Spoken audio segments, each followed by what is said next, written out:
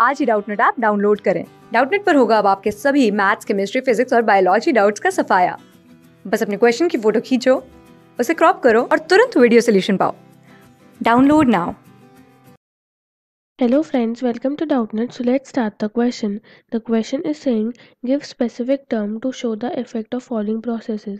तो इस क्वेश्चन में हमें फोर पार्ट्स गिवन है और हमें हर पार्ट के लिए एक स्पेसिफिक टर्म बताना है उस इफ़ेक्ट को शो करने के लिए कि जो प्रोसेस उसमें हो रहा है ठीक है तो एक एक करके देख लेते हैं ए पार्ट में हमें क्या गिवन है कि फेरिक हाइड्रोक्साइड को हमने मिक्स किया है आर्सेनिक सल्फाइड सॉल्ट के साथ तो क्या होगा ठीक है तो ए पार्ट में अगर हम देखें जो हमारा फेरिक हाइड्रोक्साइड है एफ़ ई ओ एच का होल थ्राइस ये क्या है?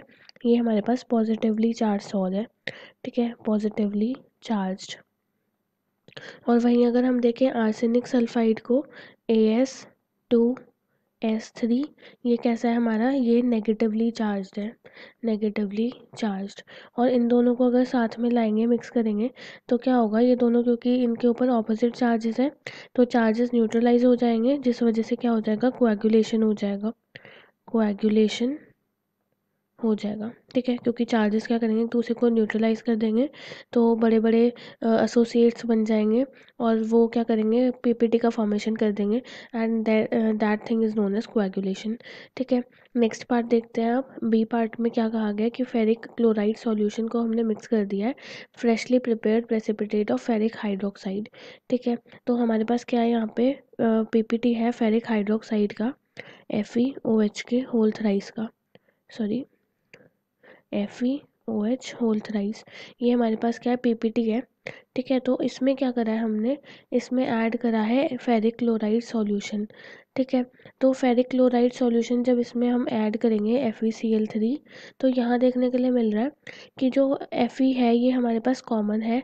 तो हमें पता है पेप्टाइजेशन में क्या होता है कि जो कॉमन आयन होता है, वो जाके एड्जॉर्ब हो जाता है। तो यहाँ क्या होगा? F E O H whole thrice पे एफ़ ई प्लस जाके एड्जॉर्ब हो जाएगा, ठीक है? और जब एफ़ ई प्लस थ्री जाके एड्जॉर्ब हो जाएगा, ठीक है? तो क्या होगा यहाँ से? इस पर चार्ज डेवलप हो जाएगा और अलग अलग मॉलिक्यूल्स पे जो चार्ज होगा, उसकी वजह से आपस में रिपल्शन होगी। और रिपल्शन की वजह से क्या होगा?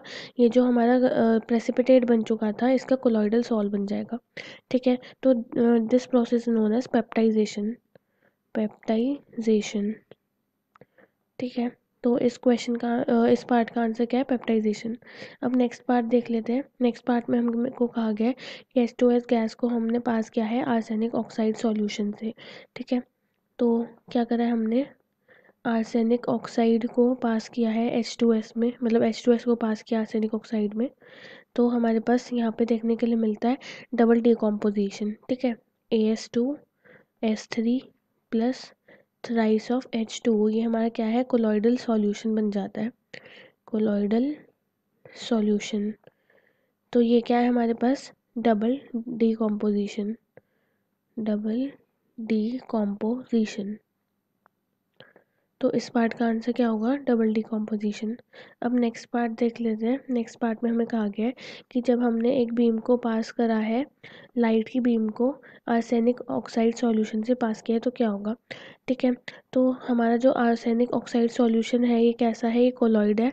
और जब कोलॉइड के थ्रू हम लाइट बीम को पास करते हैं तो क्या होता है कि जो पार्टिकल्स हैं कोलॉइडल सॉल्यूशन में कोलॉइडल पार्टिकल्स जो है, वो क्या करते हैं? स्कैटर कर देते हैं लाइट को जिस वजह से क्या होता है उसका पाथ हमें विजिबल हो जाता है ठीक है? लाइट बीम का पाथ विजिबल हो जाता है और उस फिनोमिनन को हम कहते हैं टिंडल इफ़ेक्ट ठीक है? तो यहाँ पे हमें क्या ऑब्ज़र्व होगा? हमें ऑब्ज़र्व होगा Tyndall effect Tyndall effect so so, इस पार्ट का आंसर है हमारे पास टिंडल इफ़ेक्ट सो ये हो गए हमारे चारों ही parts so that's all for this question thank you class six से ट्वेल्थ से लेके NEET I I T JEE mains और एडवांस के लेवल तक। दस मिलियन से ज़्यादा स्टूडेंट्स का भरोसा। आज ही डाउनलोड करें डाउट नेट ऐप या व्हाट्सअप कीजिए अपने डाउट्स आठ चार सौ चार सौ चार सौ पर।